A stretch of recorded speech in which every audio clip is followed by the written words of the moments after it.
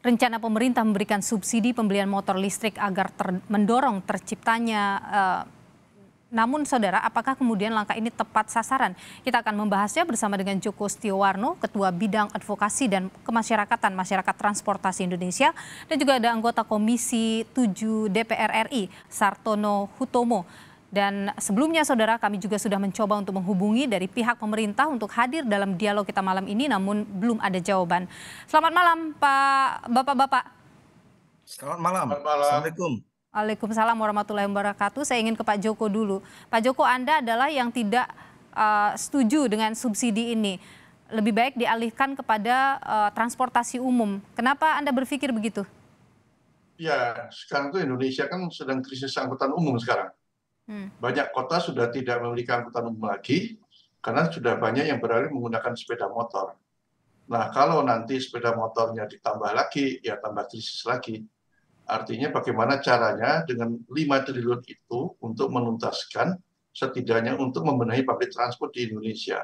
Hmm. Kita jangan hanya lihat kota Jakarta ya, hmm. karena jauh-jauh Bodetabek aja banyak angkutan umumnya sangat buruk sekali. Dan sudah banyak yang sudah tidak ada angkutan umum. Okay. Apalagi kalau kita lihat banyak kota yang lainnya.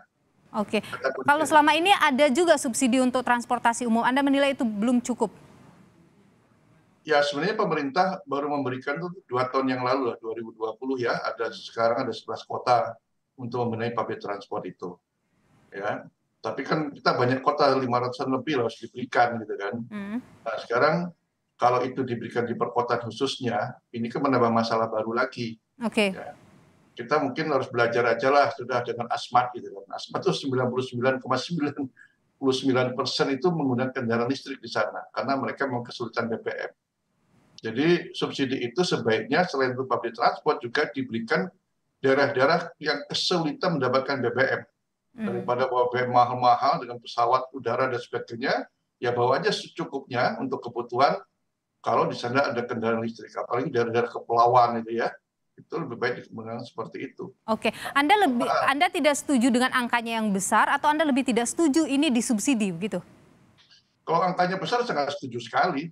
Itu hampir setara subsidi di Kementerian Perhubungan. Perhubungan nggak salah hampir 6 triliun ya. Hmm. Itu 5 triliun itu kalau disubsidi buat public transport wah luar biasa itu. Hmm. Khususnya darat. Hmm. Ya karena angkutan umum di darat ini tidak masuk PSN masalahnya, jadi okay. ada ibu melirik. Padahal ini... Maksud maksud saya begini Pak Joko, Anda tidak setuju angka yang besar ini untuk subsidi uh, listriknya, atau mungkin kalau angkanya diturunkan nggak apa-apa?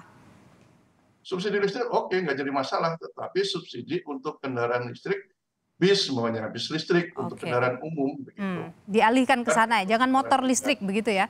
Ya motor listrik silakan aja itu diberikan daerah-daerah kepulauan, daerah yang sulit-sulit lah gitu okay. ya. Oke, okay, baik. Nggak apa-apa. Baik, saya ingin ke Pak Sartono dulu karena uh, ini juga harus minta restu dulu nanti ke DPR terkait dengan uh, subsidi 7 juta rupiah untuk motor listrik ini. Kalau dari DPR bagaimana melihat ini uh, Pak Sartono? Baik, terima kasih Mbak. Saya coba merespon begitu ya statement atau pernyataan dari Menteri apa uh, Maritim dan Invest mm -hmm. tentang subsidi 7 juta setiap kendaraan baru itu. Kita harus ketahui sepeda motor ya di Indonesia ini kan ya merupakan kebutuhan masyarakat utama lah ya. Kalau kita berdasarkan data kan hampir 123 juta unit di akhir tahun 2022 ini. Nah, dengan jumlah sekian begitu besarnya, ya seberapa banyak ini ya yang menjadi target pemerintah di tengah kondisi APBN kita yang tidak baik lah begitu. Ini kan harus diperhitungkan secara matang lah begitu. Hmm. Berapa triliun itu misalnya akan terserap itu APBN uh, eh, untuk uh, apa subsidi daripada uh, uh, apa kendaraan listrik, sepeda motor listrik. Saya bersepakat juga dengan Bapak Joko harusnya ya apa mencari suatu daerah lah, percontohan lah begitu untuk menyiapkan itu. Jadi tidak langsung secara masif, secara nasional. Satu sisi kan belum siap kita infrastrukturnya, ya kan? Hmm. Juga apa eh, apa itu di dalam apa untuk pengisian ya eh, bahan daripada kendaraan listrik ini. Eh, okay. Kalau boleh ada waktu sebentar begitu, mm -hmm. saya apa uh, bertanya ya pada salah satu seorang apa itu pengemudi ojek lah online begitu yang menggunakan motor listrik. Yang menjadi keluhan adalah pada posisi baterai full motor listrik itu bisa digunakan hanya 50 km. Ya, sedangkan anggaplah uh, apa itu ojek online ini kan memiliki order orderan yang relatif okay apa sangat banyak. Satu sisi infrastruktur belum disiapkan begitu. Stasiun pengisian kendaraan listrik umum ini juga belum dipersiapkan. Anggaplah kalau, yang kalau sambil jalan misalnya Pak, bagaimana? Bagaimana Pak? Kalau sambil jalan misalnya, misalnya subsidi ini jalan, uh, kemudian infrastrukturnya juga mulai jalan dilakukan, bagaimana?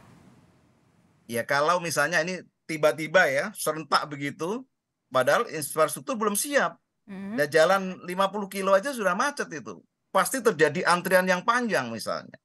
Ya, uh, yang yang chaos juga itu terjadi mungkin. Oke. Okay. Ya, saya saya bersepakat sih penggunaan energi bersih okay. namanya menjadi suatu prioritas lah ya. Jadi ini nggak efektif begitu? Ya istilahnya kan apa? Uh, ya jangan gerusa-gerusu lah begitu. Hmm. Harus diperhitungkan secara matang, itu bertahap. Belum matang betul, tahu-tahu sudah bikin statement misalnya apa instrumen daripada apa infrastrukturnya sudah siap belum itu. Oke. Okay. Teknologinya kita juga sudah siap atau belum. Baterai hmm. misalnya itu kan setiap saat bisa cepat misalnya rusak misalnya. Apakah okay. juga sudah tercukupi atau invest apa tentu kita kan memerlukan APBN lagi itu untuk membangun itu. Oke. Jadi Tapi perlu... Pak, Pak Sartono begini, ketika misalnya uh, kita kan ingin menuju ke zero emisi ya kemudian prosesnya dimulai dari sini dulu, jalan pelan-pelan misalnya, uh, sampai kemudian infrastrukturnya juga bisa terpenuhi dengan baik. Apakah tidak lebih baik ketika memulai saja misalnya dari sini, dari sekarang begitu? Ya sebetulnya kalau berpikir tentang energi baru terbarukan, penggunaan energi listrik di Indonesia ini kan memakai fosil energi juga loh Mbak, ya kan batu bara begitu. Tapi sebagai transisi, oke okay lah begitu.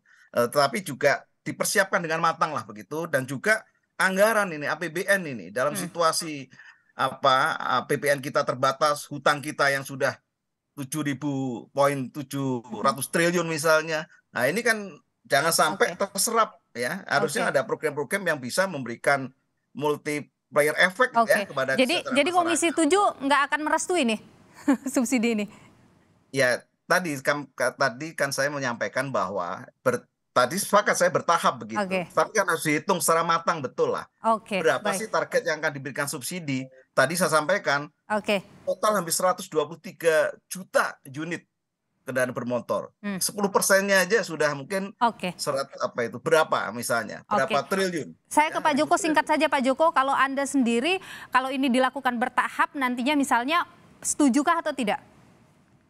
begini Muska, bukan bertahapnya begini Bu. Jangan okay. diberikan di perkotaan. Oke. Okay. Apalagi di Pulau Jawa itu tambah macet nantinya.